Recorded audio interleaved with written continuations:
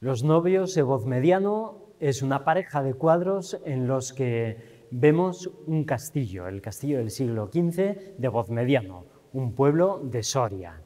Gustavo Maeztu era un viajero incansable, así que imagino que eligió este lugar para ubicar esta escena porque le pareció un lugar lleno de vocación y con una ruina que le servía para enfatizar el mensaje.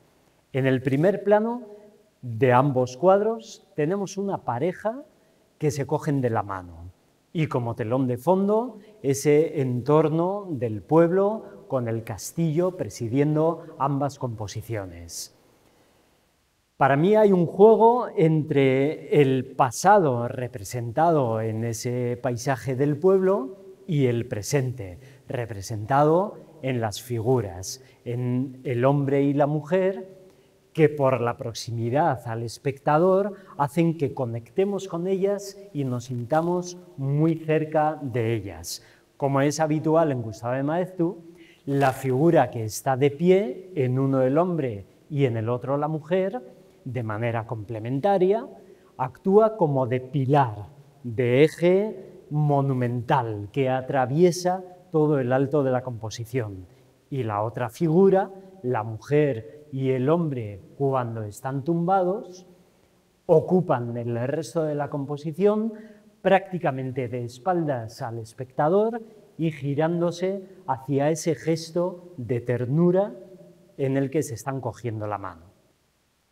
En los dos cuadros hay unos valores cromáticos que tienen que ver con los cálidos en la figura humana y un tono azul verdoso envolvente para el paisaje del fondo. De esta manera hay un contraste todavía más enfatizado por una línea bastante poderosa que delimita toda la figura.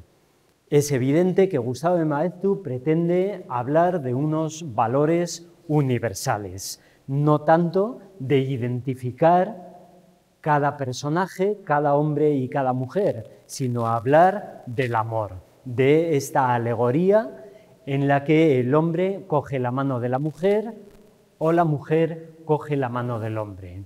Si nos fijamos bien, los gestos de los personajes son fuertes y decididos.